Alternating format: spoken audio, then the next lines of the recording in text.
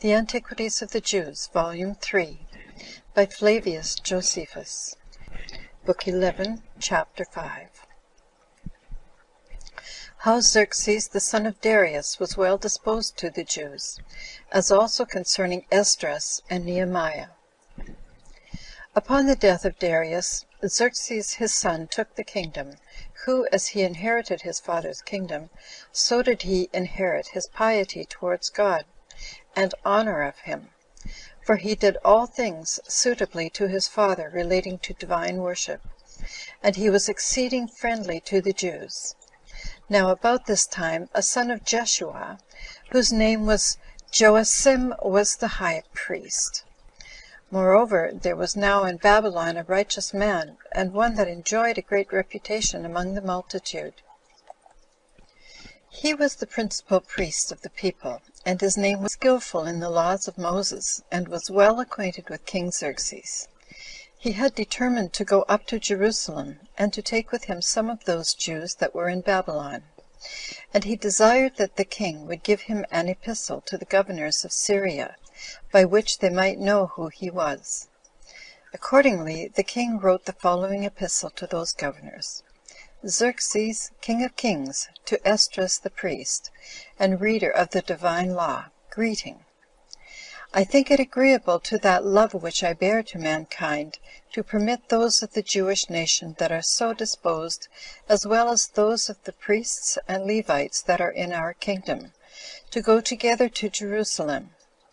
Accordingly, I have given command for that purpose, and let every one that hath a mind go, according as it hath seemed good to me, and to my seven counselors, and this in order to their counselors, and this in order to their review of the affairs of Judea, to see whether they be agreeable to the law of God. Let them also take with them those presents which I and my friends have vowed, with all that silver and gold that is found in the country of the Babylonians, as dedicated to God, and let all this be carried to Jerusalem to God for sacrifices. Let it also be lawful for thee and thy brethren to make as many vessels of silver and gold as thou pleasest. Thou shalt also dedicate those holy vessels which have been given thee, and as many more as thou hast a mind to make, and shalt take the expenses out of the king's treasury. I have, moreover, written to the treasurers of Syria and Phoenicia, that they take care of those affairs that Esdras the priest, and reader of the laws of God, is sent about, and that is sent about and that God may not be at all angry with me or my children, I grant all that is necessary for sacrifices to God, according to the law, as far as a hundred cori of wheat. And I enjoin you not to lay any treacherous imposition, or any tributes, upon their priests or Levites, or sacred singers or porters, or sacred servants, or scribes of the temple. And do thou, O Esdras, appoint judges according to the wisdom given thee of God, and those such as understand the law, that they may judge in all Syria and Phoenicia. And do thou instruct those also which are ignorant of it, that if any one of thy countrymen transgress the law of God, or that of the king, he may be punished, as not transgressing it out of ignorance, but as one that knows it indeed, but boldly despises and condemns it. Fines. Farewell. When Esdras had received this epistle, he was very joyful, and began to worship God, and confessed that he had been the cause of the king's great favor to him, and that for the same reason he gave all the thanks to God. So he read the epistle at Babylon to those Jews that were there; but he kept the epistle itself, and sent a copy of it to all those of his own nation that were in Media. And when these Jews had understood what piety the king had towards God, and what kindness he had for Esdras, they were all greatly pleased; nay, many of them took their effects with them, and came to Babylon, as very desirous of going down to Jerusalem. But then the entire body of the people of Israel remained in that country. Wherefore there are but two tribes in Asia and Europe subject to the Romans, while the ten tribes are beyond Euphrates till now, and are an immense multitude, and not to be estimated by numbers. Now there came a great number of priests, and Levites, and porters, and sacred singers, and sacred servants to Esdras. So he gathered those that were in the captivity together beyond Euphrates, and stayed there three days, and ordained a fast for them, that they might make their prayers to God for their preservation, that they might suffer no misfortune by the way, either from their enemies, or from any other ill accident; for Esdras had said beforehand, that he had told the king how God would preserve them, and so he had not thought fit to request that he would send horsemen to conduct them. So when they had finished their prayers, they removed from Euphrates on the twelfth day of the first month of the seventh year of the reign of Xerxes; and they came to Jerusalem on the fifth month of the same year. Now Esdras presented the sacred money to the treasurers, who were of the family of the priests, of silver six hundred and fifty talents, vessels of silver one hundred talents, vessels of gold twenty talents, vessels of brass, that was more precious than gold, twelve talents by weight; for these presents had been made by the king and his counselors, and by all the Israelites that stayed at Babylon. So when Esdras had delivered these things to the priests, he gave to God, as the appointed sacrifices of whole burnt offerings, twelve bulls on account of the common preservation of the people, ninety rams, seventy two lambs, and twelve kids of the goats, for the remission of sins. He also delivered the king's epistle to the king's officers, and to the governors of Celesyria and Phoenicia; and as they were under a necessity of doing what was enjoined by him, their necessities. Now these things were truly done under the conduct of Esdras, and he succeeded in them because God esteemed him worthy of the success of his conduct, on account of his goodness and righteousness. But some time afterward there came some persons to him, and brought an accusation against certain of the multitude, and of the priests and Levites, who had transgressed their settlement, and dissolved the laws of their country, by marrying strange wives, and had brought the family of the priests into confusion. These persons desired him to support the laws, lest God should take up a general anger against them all, and reduce them to a calamitous condition again. Hereupon he rent his garment immediately, out of grief, and pulled off the hair of his head and beard, and cast himself upon the ground, because this crime had reached crime had reached the principal men among the people; and considering that if he should enjoin them to cast out their wives, and the children they had by them, he should not be hearkened to, he continued lying upon the ground. However, all the better sort came running to him, who also themselves wept, and partook of the grief he was under for what had been done.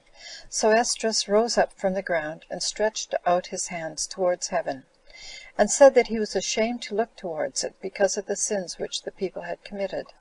while they had cast out of their memories what their fathers had undergone on account of their wickedness. And he besought God, who had saved a seed and a remnant out of the calamity and captivity they had been in, and had restored them again to Jerusalem, and to their own land, and had obliged the kings of Persia to have compassion on them, that he would also forgive them their sins they had now committed, which, that he would also forgive them their sins they had now committed, which, though they deserved death, yet was it agreeable to the mercy of God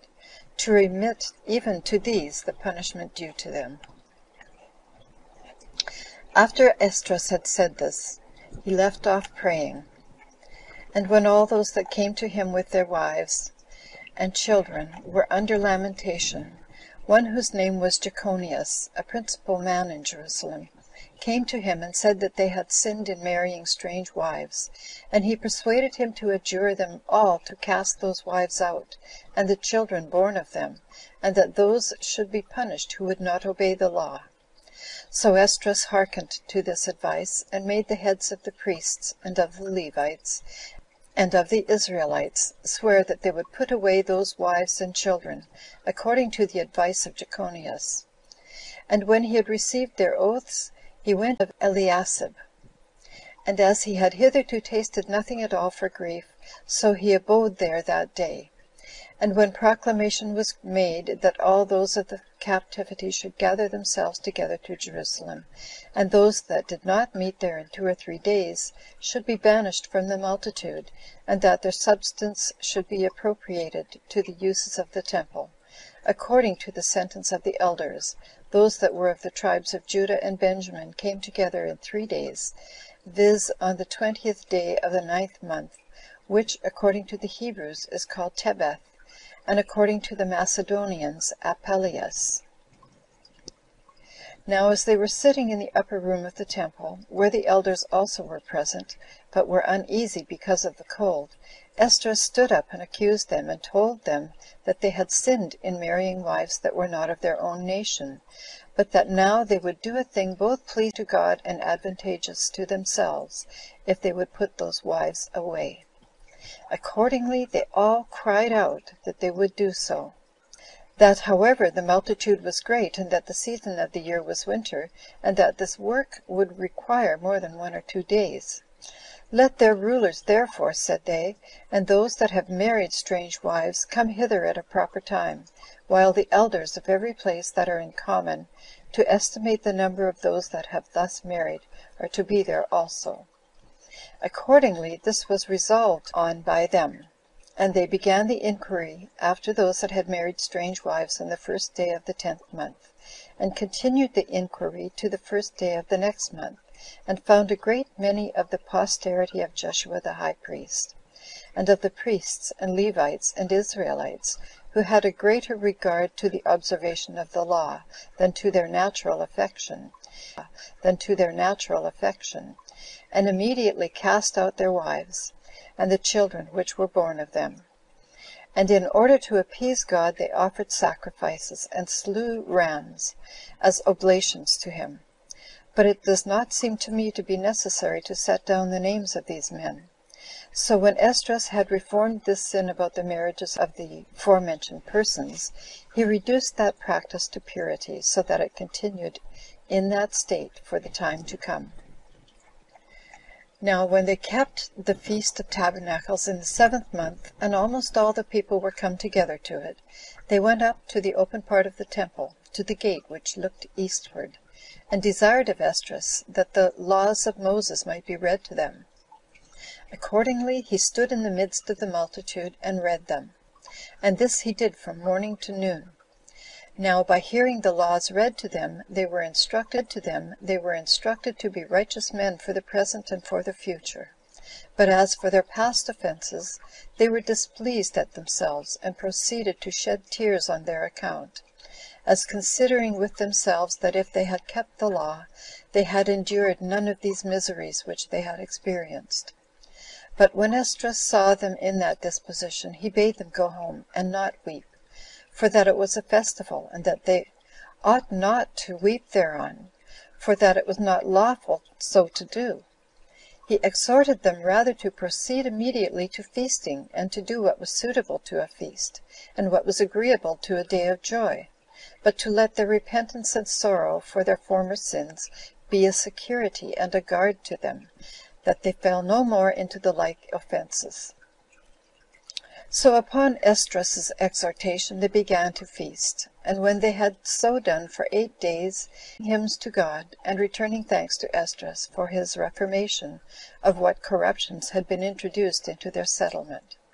So it came to pass, that after he had obtained this reputation among the people, he died an old man, and was buried in a magnificent manner at Jerusalem. About the same time it happened also that Joacim the high priest died, and his son Eliasib succeeded in the high priesthood. Now there was one of those Jews that had been carried captive who was cupbearer to king Xerxes. His name was Nehemiah. As this man was walking before Susa, the metropolis of the Persians, he heard some strangers that were entering the city after a long journey, speaking to one another in the Hebrew tongue. So he went to them, and asked them whence they came. And when their answer was that they came from Judea, he began to inquire of them again in what he began to inquire of them again in what state the multitude was, and in what condition Jerusalem was; and when they replied that they were in a bad state, for that their walls were thrown down to the ground, and that the neighboring nations did a great deal of mischief to the Jews, while in the day time they overran the country, and pillaged it, and in the night did them mischief, insomuch that not a few were led away captive out of the country, and out of Jerusalem itself, and that the roads were in the day time found full of dead men. Hereupon Nehemiah shed tears, out of commiseration of the calamities of his countrymen; and looking up to heaven, he said, "How long, O Lord, wilt thou overlook our nation, while it suffers so great miseries, and while we are made the prey and spoil of all men?" And while he stayed at the gate, and lamented thus, one told him that the king was one told him that the king was going to sit down to supper. So he made haste, and went as he was, without wishing himself, to minister to the king his office of cupbearer. But as the king was very pleasant after supper, and more cheerful than usual, he cast his eyes on Nehemiah, and seeing him look sad, he asked him why he was sad; whereupon he prayed to God to give him favor, and afford him the power of persuading by his words; and said, "How can I, O king, appear otherwise than thus, and not be in trouble, while I hear that the walls of Jerusalem, the city where are the sepulchers of my fathers, are thrown down to the ground, and that its gates are consumed by fire? But do thou grant me the favor to go and build its walls, and to finish the building of the temple." Accordingly the king gave him a signal that he freely granted him governors, that they might pay him due honor, and afford him whatsoever assistance he wanted, and as he pleased. "Leave off thy sorrow then," said the king, "and be cheerful in the performance of thy office hereafter." So Nehemiah worshipped God, and gave the king thanks for his promise, and cleared up his sad and cloudy countenance, by the pleasure he had from the king's promises. Accordingly the king called for him the next day, and gave him an epistle to be carried to Adeus, the governor of Syria, and Phoenicia, and Samaria; wherein he sent to him to pay due honor to Nehemiah, and to supply him with what he wanted for his building. Now when he was come to Babylon, and had taken with him many of his countrymen, who voluntarily followed him, he came to Jerusalem in the twenty and fifth year of the reign of Xerxes. And when he had shown the epistles to God, he gave them to Adeus, and to the other governors. He also called together all the people to Jerusalem, and stood in the midst of the temple, and made the following speech to them: "You know, O Jews, that God hath kept our fathers Abraham and Isaac and Jacob in mind continually, and for the sake of their righteousness hath not left off the care of you. Indeed, he hath assisted me in gaining this authority of the king to raise up our wall, and finish what is wanting of the temple. I desire you, therefore, who well know the ill will our neighboring nations bear to us, and that when once they are made sensible that we are in earnest about building, they will come upon us, and contrive many ways of obstructing our works, that you will, in the first place, put your trust in God, as in him that will assist us against their hatred, and to intermit building neither night nor day, but to use all diligence, and to hasten on the work now we have this especial opportunity for it. When he had said this, he gave order that the rulers should measure the wall, and part the work of it among the people, according to their villages and cities, as every one's ability should require. And when he had added this promise, that he himself with his servants would assist them, he dissolved the assembly. So the Jews prepared for the work. That is the name they are called by from the day that they came up from Babylon, which is taken from the tribe of Judah, which came first to these places, and thence both they and the country gained that appellation. But now when the Ammonites and Moabites, and Samaritans, and all that inhabited Celesyria, heard that the building went on apace, they took it heinously, and proceeded to lay snares for them, and to hinder their intentions, how they might destroy Nehemiah himself, by hiring some of the foreigners to kill him. They also put the Jews in fear, and disturbed them, and spread abroad rumors, as if many nations were ready to make an expedition against them, by which means they were harassed, and had almost left off the building. But none of these things could deter Nehemiah from being diligent about the work. He only set a number of men about him as a guard to his body, and so unweariedly persevered therein, and was insensible of any trouble, out of his desire to perfect this work. And thus did he attentively and with great forecast take care of his own safety; not that he feared death, but of this persuasion, that if he were dead, the walls for his citizens would never be raised. He also gave orders that the builders should keep their ranks, and have their armor on while they were building. Accordingly the mason had his sword on, his sword on, as well as he that brought the materials for building. He also appointed that their shields should lie very near them; and he placed trumpeters at every five hundred feet, and charged them, that if their enemies appeared, they should give notice of it to the people, that they might fight in their armor, and their enemies might not fall upon them naked. He also went about the compass of the city by night, being never discouraged, neither about the work itself, nor about his own diet and sleep, for he made no use of those things for his pleasure, but out of necessity. And this trouble he underwent for two years and four months, for in so long a time was the wall built, in the twenty eighth year of the reign of Xerxes, in the ninth month. Now when the walls were finished, Nehemiah and the multitude offered sacrifices to God for the building of them, and they continued in feasting eight days. However, when feasting eight days. However, when the nations which dwelt in Syria heard that the building of the wall was finished, they had indignation at it.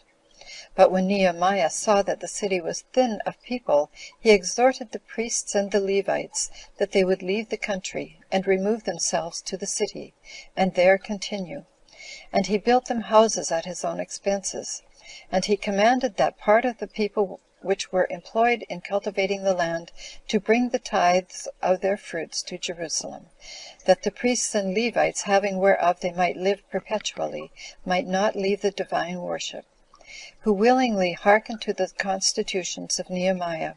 by which means the city Jerusalem came to be fuller of people than it was before. So when Nehemiah had done many other excellent things, and things worthy of commendation, in a glorious manner, he came to a great age, and then died. He and then died. He was a man of a good and righteous disposition, and very ambitious to make his own nation happy and he hath left the walls of Jerusalem as an eternal monument for himself. Now this was done in the days